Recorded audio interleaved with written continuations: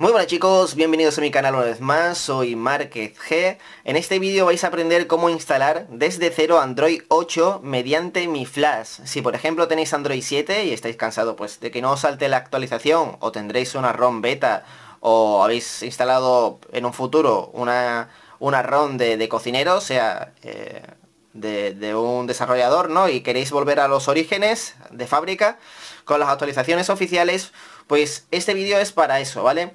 Os explico muy sencillo cómo hacer los pasos, o sea, os lo enumero, incluso hice un pequeño GIF para que veáis eh, los pasos a seguir. Uno, pues mi flash y dos, la ROM que viene.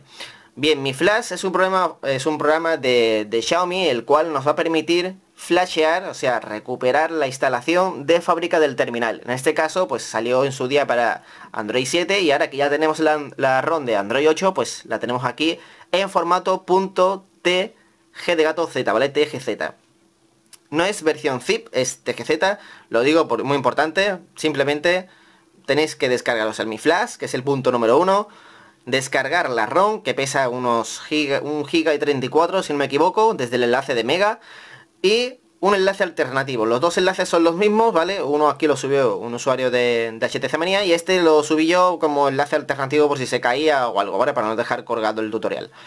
Y bueno, el WinRAR, que el WinRAR a día de hoy creo que está en casi todos los ordenadores, que es para descomprimir la ROM que tenemos. Bien, después no tiene misterio, simplemente lo único que tenemos que hacer es poner el teléfono en modo fastboot, conectarlo al, al PC y mediante, bueno, que se me mueve esto, y, y simplemente conectándolo al PC, pues y el programita Mi Flash vais a ver ahora en PC que es muy sencillo. Ahora pasaremos al ordenador para que veáis que no tiene ningún tipo de misterio. Así que bueno, como os digo, lo más importante de este tutorial es tener una copia de seguridad, sí o sí, porque dentro de Flash hay dos opciones. Una, que te dice si quieres borrarlo todo o si quieres guardar los datos de usuario.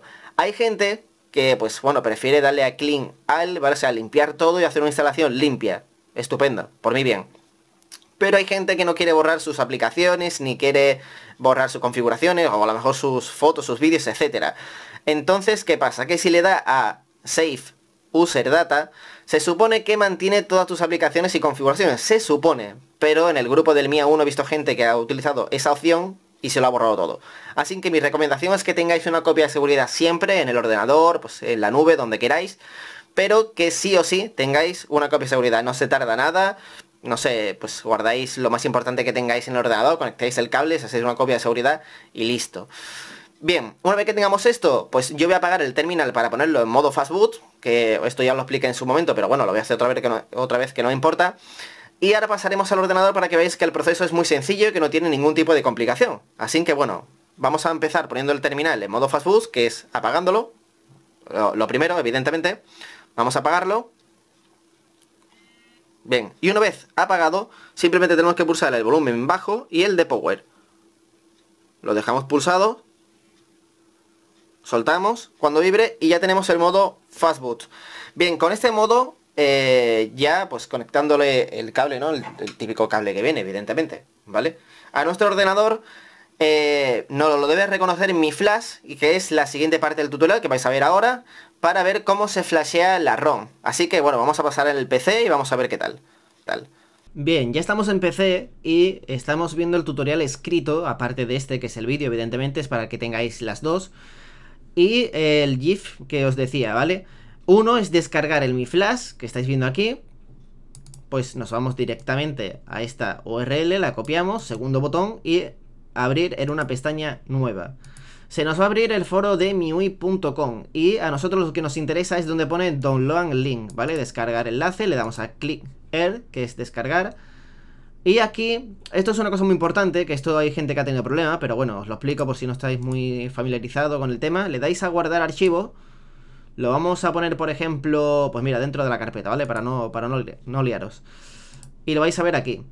Esto cuando se descarga, hay un fallo, no sé por qué, que se llama mi flash setup.msi y aquí al final pone htm. Esto lo vamos a borrar porque esto es un lío. Vamos a borrarlo todo y vamos a dejar simplemente .msi, ¿vale? Que son las siglas del instalador para poder instalarlo. Lo que hacemos es, pulsamos encima y le damos, bueno, en mi caso sale reparar porque ya lo tengo instalado, pero vosotros le dais instalar, instalar, instalar, instalar. Y si os salta un aviso en rojo, como diciendo los controladores no están firmados, lo instaláis igual, ¿vale? Porque esto es muy importante porque es que si no, no vais a poder hacerlo. Bien, una vez que lo tengamos instalado, yo lo voy a dar aquí a cancelar porque ya lo tengo instalado. Nos vamos a descargar la ROM, ¿vale? Que siguiendo mi tutorial vais a encontrar dos enlaces, que es de Mega, este que ya estaba subido en el foro de HTC Manía. Vamos a utilizar este, por ejemplo. Y le damos aquí a descargar. Ahora cuando aparezca le damos aquí en rojo a descargar. Una vez que lo tengamos descargado, nos va a salir esto, que es tsot-images y una serie de números .zip. Lo que vamos a hacer es darle al segundo botón, esto previamente con WinRAR instalado en el ordenador, y le damos a extraer, la última opción de la carpeta, extraer en TISO, etcétera, etcétera, ¿sale? Le damos aquí, nos lo extrae, vamos a esperar un poco, ya que suele tardar unos minutos. Bien, vamos a dejar el tutorial aquí de fondo para que sigamos los pasos.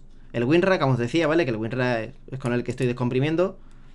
El teléfono en modo fastboot, que es lo primero que hemos hecho. Y ahora esto es muy importante. Vale, una vez que tengamos aquí, vais a ver todos estos archivos que estáis viendo aquí, ¿vale? Todo esto que estáis viendo aquí. Pues lo único que tenemos que hacer es conectar el teléfono al PC, ¿vale? Por fastboot, que ya tenemos el modo fastboot.